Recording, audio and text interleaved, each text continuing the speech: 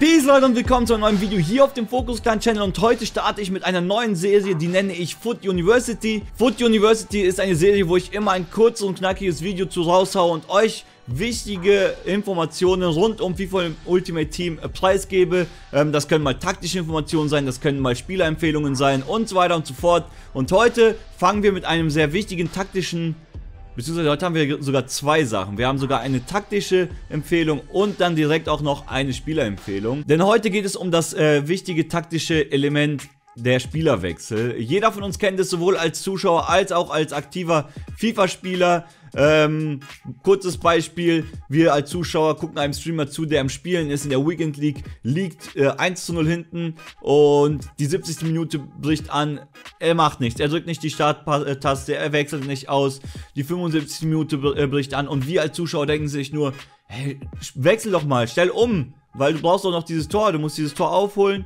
Er aber als aktiver Spieler denkt nicht an diese an dieses taktische Element des Spielerwechsels in dem Moment oder an die allgemein an die Formationsumstellung. Und es ist sehr, sehr wichtig, dass man sich das halt nochmal verinnerlicht, denn Spielerwechsel können echt Wunder bewirken. Auch bei einem Rückstand von 1 zu 0 können solche Elemente einfach das Spiel nochmal drehen, denn frische Kräfte ähm, sind sehr, vor allem wenn man so Spieler bringt, die, wie den, den ich gleich empfehlen werde, der kann halt wirklich nochmal für Wirbel sorgen und das Spiel nochmal drehen. Und ich würde sagen, ich rede nicht mehr lange rum, lasst uns zu dem Spieler kommen, den ich meine. Und das ist niemand geringeres als Lozano, der Second Inform äh, Lozano aus der Eredivisie von PSW und jeder kennt ihn, er ist als der Super Sub überhaupt in FIFA bekannt. Warum hat er diesen Nickname der Super Sub? Einfach weil man Lozano nicht von Anfang an spielen lassen kann, beziehungsweise man kann es schon, nur man kann ihn nicht so stark in die Teams einbinden. Man kann ihn nur dann von Anfang an spielen lassen, wenn man halt Spieler wie ja, die Ikonen hat, weil die linken ja zu jedem, oder halt Spieler aus der Eredivisie oder halt Mexikaner. Und da merkt man halt, Spieler aus der Eredivisie, also aus der holländischen Liga und auch Mexikaner sind halt nicht die stärksten im FIFA. Dementsprechend kann man halt nicht von Anfang an ein starkes Team um ähm, Lozano drumherum aufbauen, es sei denn, man hat Icons und die hat bekanntlich nicht jeder. Und dementsprechend hat Luzano sich halt dieses Bild als der Super Sub ähm, aufgebaut im FIFA 18 und das nicht ohne Grund, denn wenn er reinkommt, äh, macht er echt Wirbel und das liegt einfach an den Stats, die er hat. 95 Tempo auf der Karte, das sind 96 Antritt, 95 Sprinttempo und wenn so ein Luzano dann in der 70. Minute kommt und der Gegner schon halt, ja, schwächere Verteidiger in der Ausdauer hat, die halt nicht mehr kompletten Ausdauerbalken haben, dann kann dieser Luzano da einfach mal die Außenverteidiger überlaufen. Und das passiert sehr, sehr oft.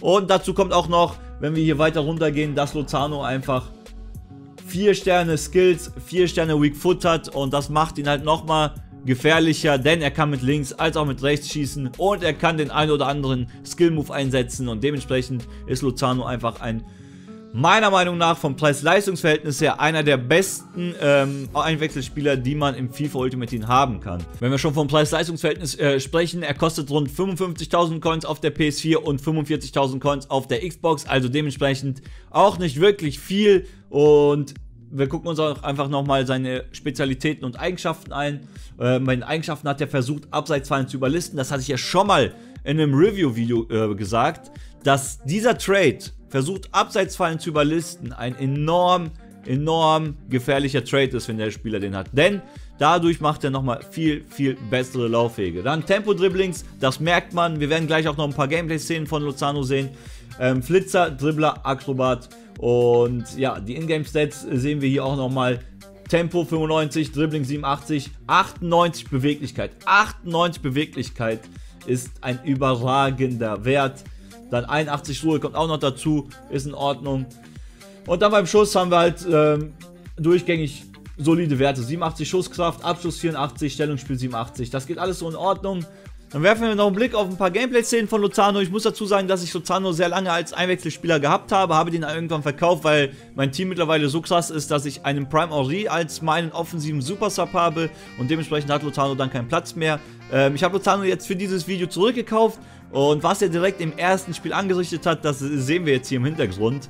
Er hat hier ah, Tempo-Dribblings wieder rausgehauen, er hat einen äh, Finesse-Shot von außerhalb des 16ers rausgehauen. Lozano ist einfach genial. Also wir müssen einfach nur darauf hoffen, dass, dass es keinen Team of the Season von Lozano geben wird. ähm, denn das wird auf jeden Fall nochmal für wirklich krasse Probleme bei uns in der Abwehr sorgen, wenn hier die Leute im FIFA Ultimate Team mit Luzano Tots unterwegs sind.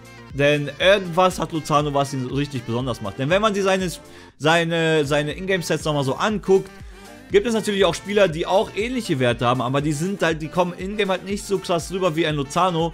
Und woran das liegt, das kann natürlich an mehreren Faktoren liegen, natürlich auch am, an dem Trade abseits äh, Beat. Kann natürlich auch an dem Trade äh, Tries to Beat Defensive Line ähm, liegen, aber auch an dem ähm, enormen Tempo und der hohen Beweglichkeit von Lozano. Woran das letztendlich liegt, ist halt immer ganz schwer zu sagen im FIFA, denn auch das Player-Model der einzigen, einzelnen Spieler in FIFA Ultimate Team äh, spielt ja auch noch eine Rolle, wie sich die Spieler in-game verhalten. Ähm, ich hoffe, euch hat dieses kurze und knappe Video ein paar Informationen über den Spielerwechsel gegeben, denn das ist ein sehr, sehr wichtiges Element in FIFA Ultimate Team. Solltet ihr auf jeden Fall verinnerlichen, denn damit könnt ihr immer mal wieder ein Spiel drehen. Ansonsten bin ich jetzt raus. Lasst dem Video gerne einen Daumen hoch da. Peace out und ciao.